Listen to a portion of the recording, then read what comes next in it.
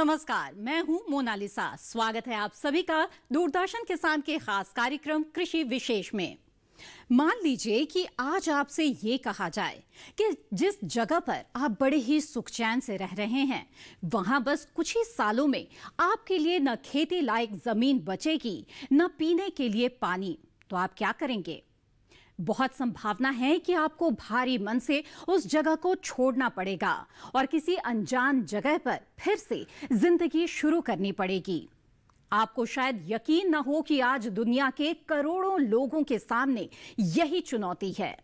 बताया जा रहा है कि महज 20 से 25 सालों में दुनिया के 13 करोड़ से ज़्यादा लोगों को मरुस्थलीकरण के कारण अपना घर बार छोड़ना पड़ सकता है। क्या है मरुस्थलीकरण, जिसके कारण ऐसी नौबत आ सकती है? विस्थापन के अलावा और क्या क्या समस्याएँ हो सकती हैं? आज हम कृषि विशेष में यही समझने की कोशिश करेंगे और जानेंगे कि मरुस्थलीकरण से जंग जीतने के लिए क्यों और कैसे की जाए मिट्टी की रक्षा।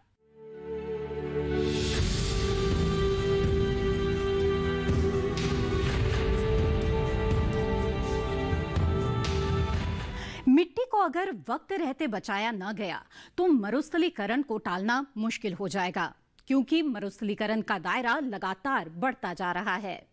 आज सौ से ज़्यादा देश इससे प्रभावित हैं। सबसे बुरा हाल है अफ्रीका का।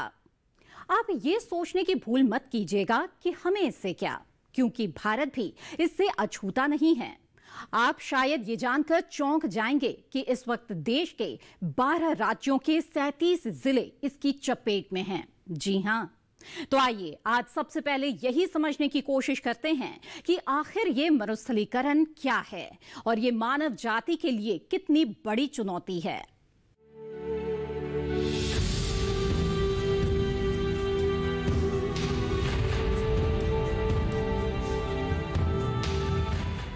सभ्यताएँ वहाँ पनपती हैं, जहाँ पानी और उपजाऊ ज़मीन हो, ताकि भोजन पानी जैसी जीवन की मूलभूत जरूरतें पूरी हो सकें। जो धरती खाने को भोजन न दे सके, वो धरती वीरान हो जाती है। दुनिया के बढ़ते जनसंख्या के बीच अगर रहने लायक धरती सिकुड़ने लगे तो मानव जाति के लिए ये एक बड़े खतरे की बात है। आज हमारे सामने इसी तरह का एक खतरा है मरुस्थलीकरण। आज एक तिहाई भूमि पर मरुस्थलीकरण का खतरा मंडरा रहा है। मरुस्थलीकरण एक ऐसी प्रक्रिया है जिसमें ज़मीन धीरे धीरे खराब होती जाती है और आखिरकार अपनी उर्वरा शक्ति खो देती है। जलवायु परिवर्तन या मानवीय गतिविधियों समेत कई कारणों से शुष्क अर्धशुष्क और निर्जल अर्धनम इलाकों की ज़मीन रेगिस्तान में बदलने लगती है। इसके कारण प्राकृतिक वनस्पतियों का क्षरण होता है। कृषि उत्पादकता कम होने के साथ पशुधन और क्षेत्र की जलवायु पर भी इसका बुरा असर पड़ता है। देखिए मरुस्थलीकरण एक बहुत बड़ी समस्या है। ये इसमें क्या होता है कि जो जलवायु परिवर्तन हो रहा है, इसकी वजह से जो हमारे कुछ इलाके, शुष्क अर्ध शुष्क या अर्ध नर्म शुष्क इलाके हैं, उनमें मरुस्थलीकरण की समस्या आ जाती है और वो भूमि जो है, वो अनुपजाऊ हो जाती है और खेती के योग नहीं रह जाती है, अर्थात मरुस्थलीकरण हो जाता है उसमें। भारत समेत दुनिया के कई देश इस समस्या से जूझ रहे हैं। खास तौर पर मौजूदा शुष्क क्षेत्रों के सामने चुनौती और भी बड़ी है। संयुक्त राष्ट्र ने चेताया है कि दुनिया हर साल 24 अरब टन उपजाऊ ज़मीन खो देती है। भूमि की गुणवत्ता खराब होने से राष्ट्रीय घरेलू उत्पाद में हर साल 8 प्रतिशत तक की गिरावट आ सकती है। यानी भूमि क्षरण और उसके दुष्प्रभावों से एक तरफ़ जलवायु संकट और गहरा रहा है तो वहीं इससे आर्थिक नुकसान भी कम नहीं। लगभग 80 के दशक से मरुस्थलीकरण का दंश झेल रहे करीब 50 लाख लोगों को आर्थिक, सामाजिक और पर्यावरण संबंधी कई मुसीबतों का सामना करना पड़ रहा है। इन इलाकों में अगर आप जाएँ तो आपको मिलेगी गरीबी, बीमारी, भोजन की कमी पानी की कमी, जैव विविधता की हानि और विस्थापन की मजबूरी। जी हाँ मरुस्थलीकरण के कारण हर साल लाखों लोग विस्थापित हो रहे हैं। संयुक्त राष्ट्र के अनुमान के मुताबिक 2045 तक करीब 13 करोड़ से ज़्यादा लोगों को अपना घर छोड़ना पड़ सकता है। देखिए, दूसरा ये है कि मरुस्थलीकरण की वजह से हमारा जो बहुत बड़ा भूभाग प्रभावित हो रहा है, उससे विशेषकर जो महिलाएँ और बच्चे प्रभावित होते हैं। और जब हमारी भूमि बंजर हो जाती है, यानी मरुस्थलीकरण हो जाता है डिजर्ट तो उसकी वजह से हमारे इन लोगों को विस्थापित होना पड़ता है अपनी जगह छोड़ के जाना पड़ता है। तो जब जल ही नहीं है, मिट्टी उपजाऊ नहीं है तो वहाँ पर सर्वाइवल की बहुत बड़ी समस्या होती है, इसीलिए वो वहाँ से चले जाते हैं। तो इसको रोकना एक सभी सरकारों के लिए बहुत आवश्यक है। हमारी सरकार जो है वो बहुत जागरूक है इस कार्य को रोकने के लिए। आई थिंक सो इस मामले में भारत की स्थिति भी कम चिंताजनक नहीं है। देश की करीब 30 फ़ीसदी ज़मीन पर मरुस्थलीकरण का असर दिख रहा है और इसका दायरा छियानवे दशमलव चार मिलियन हेक्टेयर तक फैला हुआ है। देश का 70 प्रतिशत भौगोलिक क्षेत्र शुष्क भूमि के रूप में है। जिसमें से 30 प्रतिशत भूमि भूक्षरण की प्रक्रिया में है और 25 प्रतिशत भूमि मरुस्थलीकरण की प्रक्रिया में है।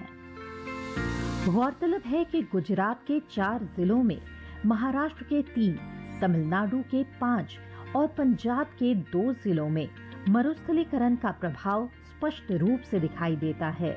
इसके अलावा, हरियाणा के दो ज़िले, राजस्थान के चार, मध्य प्रदेश के चार गोवा का एक, कर्नाटक के दो, केरल के दो, जम्मू कश्मीर के पाँच और हिमाचल प्रदेश के तीन ज़िले मरुस्थलीकरण की प्रक्रिया से गुजर रहे हैं। एक रिपोर्ट के मुताबिक 2003-5 से 2011-13 के बीच भारत में मरुस्थलीकरण 18.7 लाख हेक्टेयर तक बढ़ चुका है। इन्हीं समस्याओं से निपटने के लिए पूरा विश्व संयुक्त राष्ट्र मरुस्थलीकरण रोकथाम अभिसमय यूएनसीसीडी पर सहमत हुआ और हर साल 17 जून को विश्व मरुस्थलीकरण और सूखा रोकथाम दिवस मनाया जाता है।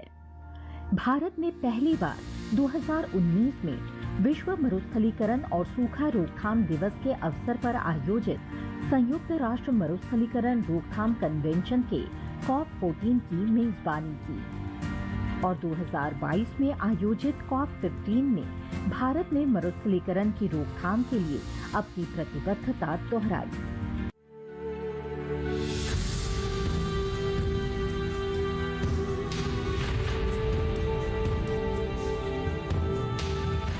क्या आपको पता है, मिट्टी की सिर्फ़ ढाई सेंटीमीटर की परत बनने में 500 साल लग जाते हैं? लेकिन इसे मिटने में बस कुछ ही साल लगते हैं। जिस तेज़ी से मिट्टी अपनी उर्वरता खोती जा रही है और उसका क्षरण हो रहा है, देखते ही देखते कई हरे भरे इलाकों में रेगिस्तान जैसे हालात बनते जा रहे हैं। हमें इसकी वजह तो तलाशनी ही होगी ताकि इससे निपटने के उपाय ढूंढे जा सके। तो आइए जानते हैं कि मरुस्थलीकरण के पीछे कौन सी वजहें हो सकती हैं।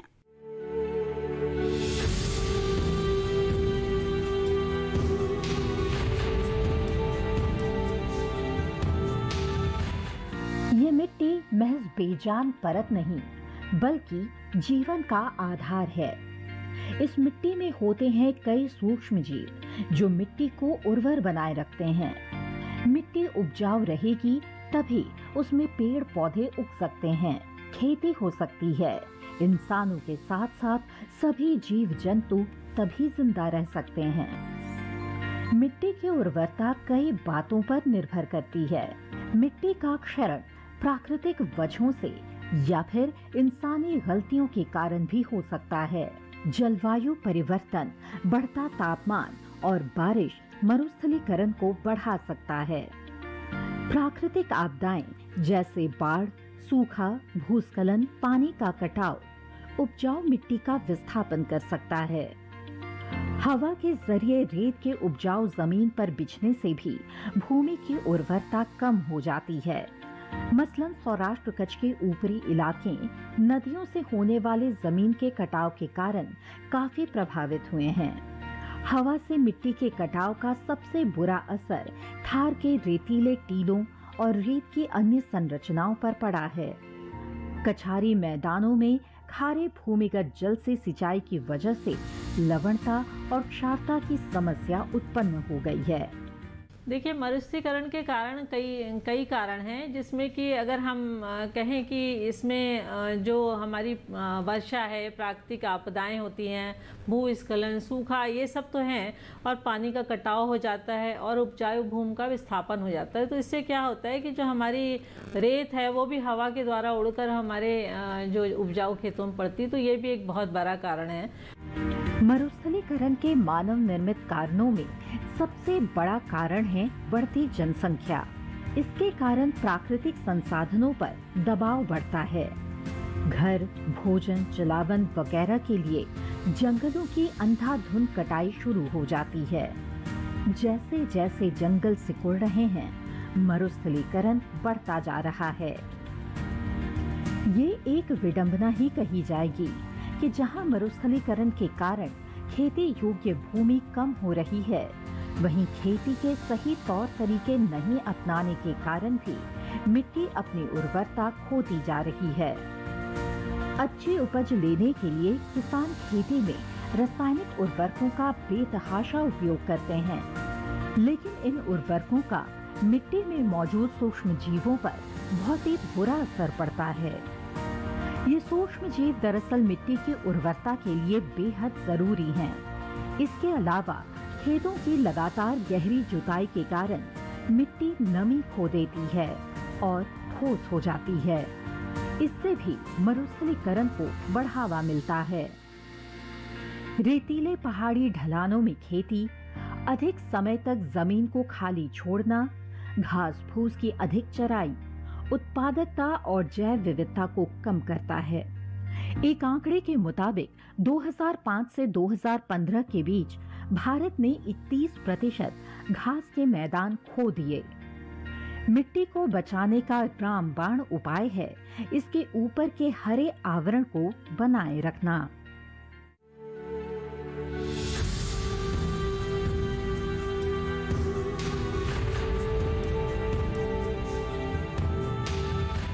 कृषि विशेष में वक्त हो गया है एक छोटे से ब्रेक का। ब्रेक के बाद हम मिट्टी की रक्षा से जुड़े उपायों की चर्चा करेंगे। आप बने रहें दूरदर्शन किसान पर।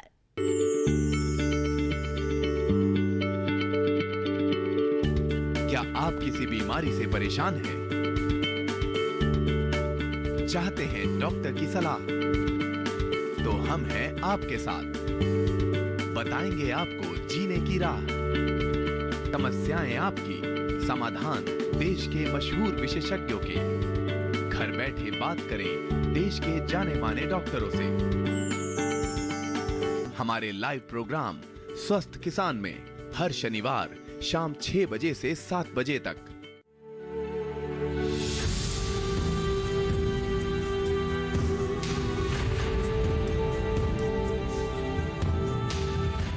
ब्रेक के बाद आप सभी का फिर से स्वागत है। कृषि विशेष में आज हम बात कर रहे हैं मरुस्थलीकरण की। अब तक आपने जाना मरुस्थलीकरण क्या है और किस तरह लगातार मिट्टी के कटाव और उर्वरता की कमी के कारण ये समस्या गंभीर रूप लेती जा रही है। सतत कृषि के लिए समस्या को दूर करना ही पड़ेगा। मिट्टी को बचाने से ही भोजन की समस्या खत्म होगी और धरती पर पल रहा हर जीवन सुरक्षित होगा। तो आइए अब आपको बताते हैं किन उपायों को अपनाकर मरुस्थलीकरण को टक्कर दी जा सकती है।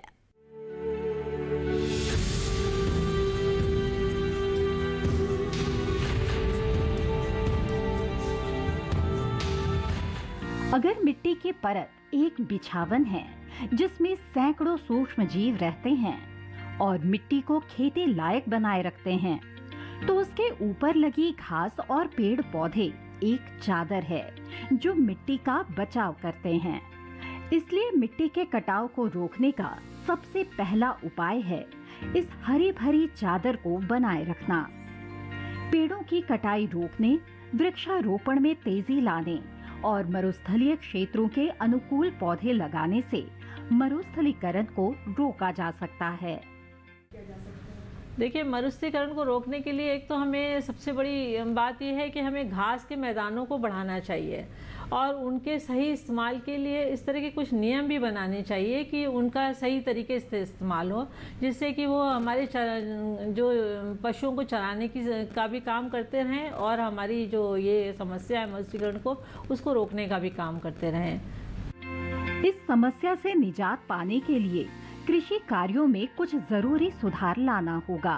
किसानों को गहरी जुताई बंद कर, मिट्टी में नमी बनाए रखने के उपाय अपनाने होंगे, जैसे कि मल्चिंग इसके अलावा रासायनिक उर्वरों का प्रयोग न कर, प्राकृतिक खेती को अपनाना सबसे अच्छा कदम हो सकता है।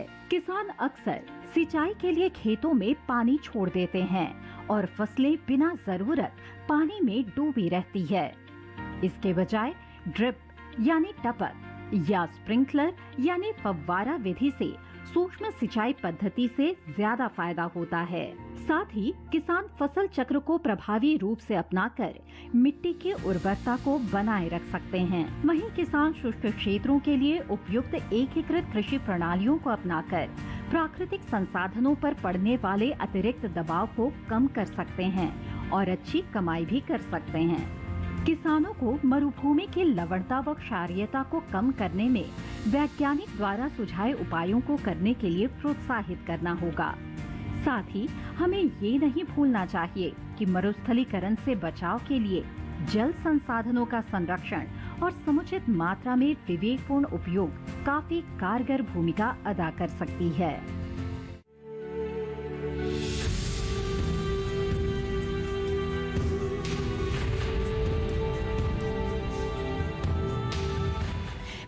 और पानी जैसे संसाधन हमारे लिए बेशकीमती हैं। इनको संजोकर रखने के लिए जहाँ जन अभियान चलाए जा रहे हैं, वहीं सरकार के द्वारा भी कई ठोस कदम उठाए जा रहे हैं। अंतर्राष्ट्रीय मंचों पर भी भारत ने हर बार पर्यावरण संरक्षण को लेकर अपनी प्रतिबद्धता ज़ाहिर की है।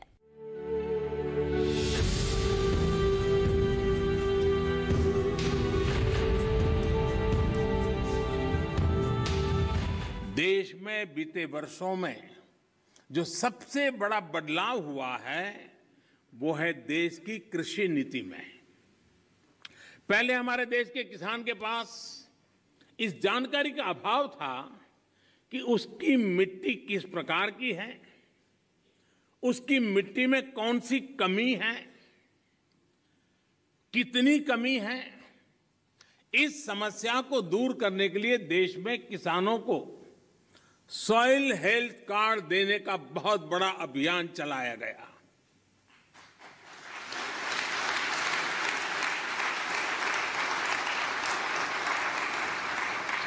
अगर हम किसी को, मनुष्य को हेल्थ कार्ड देना तो भी अखबार में हेडलाइन बन जाएगी कि मोदी सरकार ने कुछ अच्छा काम किया।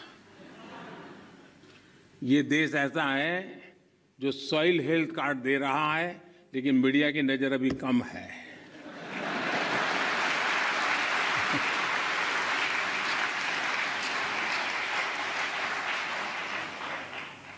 पूरे देश में 22 करोड़ से ज़्यादा सॉइल हेल्थ कार्ड किसानों को दिए गए। और सिर्फ़ कार्ड ही नहीं दिए, बल्कि देश भर में सॉइल टेस्टिंग से जुड़ा एक बहुत बड़ा नेटवर्क भी तैयार हुआ है। आज देश के करोड़ों किसान सॉइल हेल्थ कार्ड से मिली जानकारी के आधार पर फर्टिलाइजर्स और माइक्रो न्यूट्रिएंट्स का उपयोग कर रहे हैं।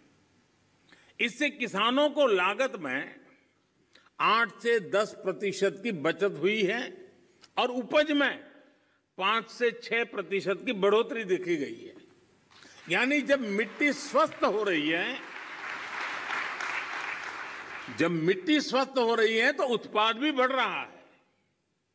मिट्टी को लाभ पहुँचाने में यूरिया की शत प्रतिशत निम कोटिंग ने भी बहुत फ़ायदा पहुँचाया है। माइक्रो इरिगेशन को बढ़ावा देने की वजह से, अटल भू योजना की वजह से देश के अनेक राज्यों में मिट्टी की सेहत भी संभल रही है। कभी कभी कुछ चीज़ें, आप मान लीजिए कोई डेढ़ दो साल का बच्चा बीमार है, तबीयत ठीक नहीं हो रही है, वेट नहीं बढ़ रहा है, ऊंचाई में भी कोई फ़र्क नहीं आता है, और माँ को कोई कहे कि जरा इसकी चिंता करो और उसको कहीं सुना हो कि भाई स्वास्थ्य के लिए दूध वगैरह चीज़ें अच्छी होती हैं। और मान लो वो हर दिन दस दस लीटर दूध में उसको स्नान करवा दे तो उसका स्वास्थ्य ठीक होगा क्या? लेकिन अगर कोई समझदार माँ एक एक चम्मच थोड़ा थोड़ा दूध उसको पिलाती जाए, दिन में दो बार, पाँच बार, सात बार, एक एक चम्मच तो धीरे धीरे फ़र्क नज़र आएगा। ये फ़सल का भी ऐसा ही है, पूरा पानी भर करके फ़सल को डूबो तो जैसे फ़सल अच्छी होती है, ऐसा नहीं है। बूंद बूंद पानी पिलाया जाए तो फ़सल ज़्यादा अच्छी होती है। पर ड्रॉप मोर क्रॉप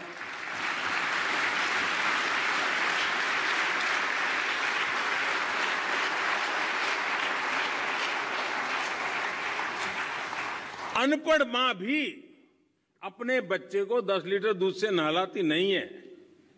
लेकिन पढ़े लिखे हम लोग पूरा खेत पानी से भर देते हैं।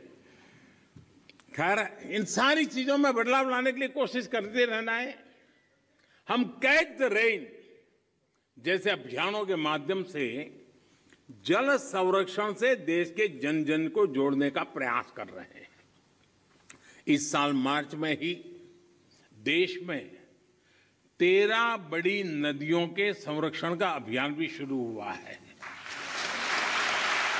इसमें पानी के प्रदूषण कम करने के साथ साथ नदियों के किनारे वन लगाने का भी काम किया जा रहा है। और अनुमान है कि इससे भारत के फॉरेस्ट कवर में 7,400 स्क्वायर किलोमीटर से ज़्यादा की बढ़ोतरी होगी। बीते आठ वर्षों में भारत ने अपना जो फॉरेस्ट कवर बीस हज़ार स्क्वायर किलोमीटर से ज़्यादा बढ़ाया है, उसमें ये और मदद करेगा। साथियों, भारत आज बायोडायवर्सिटी और वाइल्ड लाइफ से जुड़ी जिन नीतियों पर चल रहा है, उसने वन्य जीवों की संख्या में भी रिकॉर्ड वृद्धि की है। आज चाहे टाइगर हो, लायन हो, लेपर्ड हो या फिर एलिफेंट सभी की संख्या देश में बढ़ रही है।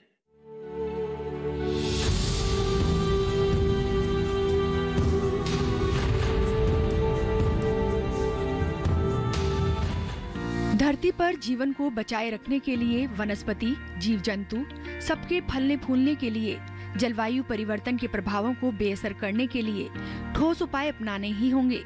इससे पहले कि बहुत देर हो जाए मरुस्थलीकरण और सूखे से निपटने के लिए विश्व बंधुत्व सरकारी प्रयास और जन भागीदारी सभी ज़रूरी हैं, क्योंकि भारत भी इस समस्या की चपेट में है।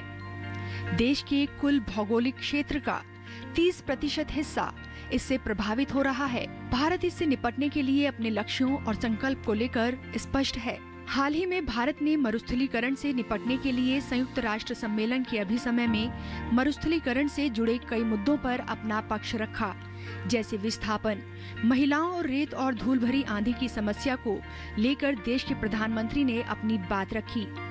मरुस्थलीकरण भूमि शरण और सूखे के कारण लोगों को अपना घर बार छोड़कर विस्थापित होना पड़ता है। इसलिए सतत कृषि और इससे जुड़ी मूल्य श्रृंखलाओं को प्रोत्साहित कर ग्रामीण आबादी को पलायन से रोकने की कोशिश की जा रही है।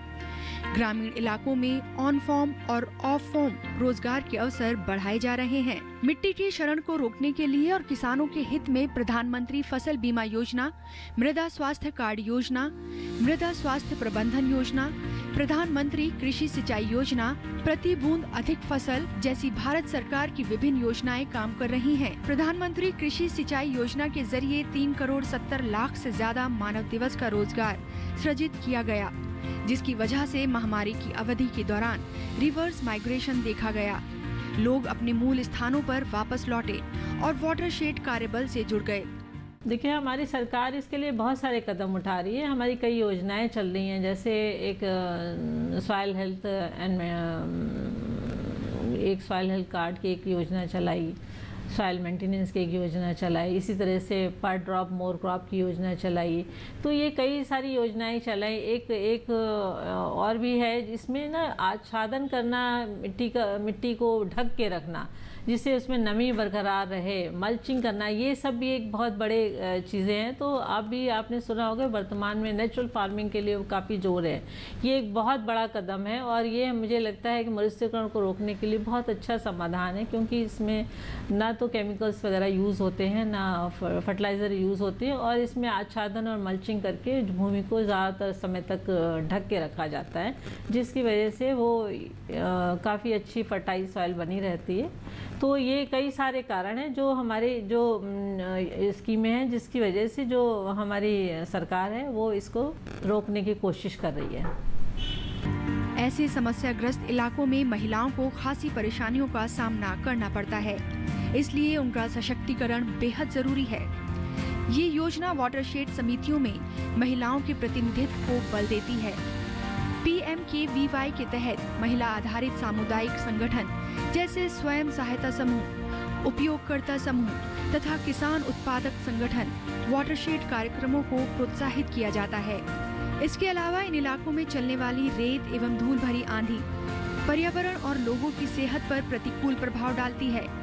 इस वक्त अधिकांश देशों में धूल भरी आंधी से संबंधित मुद्दों को हल करने के लिए आवश्यक डेटा और जानकारी का अभाव है। रिमोट सेंसिंग एजेंसियों की मदद से भारत इस मामले में सुधार के लिए काम कर रहा है। मरुस्थलीकरण को रोकने की मुहिम में जन अभियान बहुत बड़ी भूमिका निभा सकते हैं। सबका साथ और सबका प्रयास। एक दिशा में हो तो दुनिया के किसी कोने में किसी को विस्थापन, रोग, भोजन और पानी के अभाव का दंश नहीं झेलना पड़ेगा।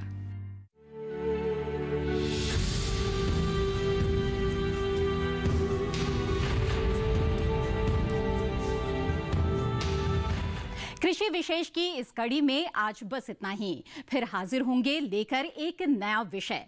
तब तक के लिए दीजिए इजाज़त। आप बने रहें दूरदर्शन किसान पर।